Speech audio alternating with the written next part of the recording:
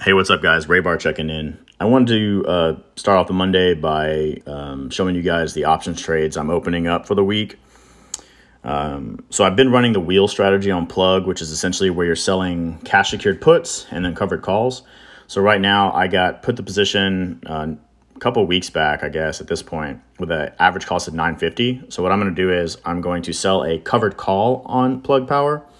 So I'll set that up by doing trade, trade options, I'm going to do one week option, so the May 5th expiration. And then my average cost is 950, so I'm going to sell it at the 950, which is right now an $11 credit. So I'm going to do review, swipe up. And then I sold one covered call contract here.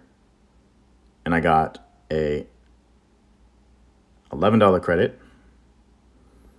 And then likely what I'm going to do too is, um, you know, I'm going to do my normal um, daily buys. I might uh, buy into Apple a little bit more this week. They are reporting earnings on Thursday. Um, all the other big tech has kind of crushed it, and several other stocks that I've been watching has been have been beating the market. So I feel like um, you know Apple is kind of poised to do the same.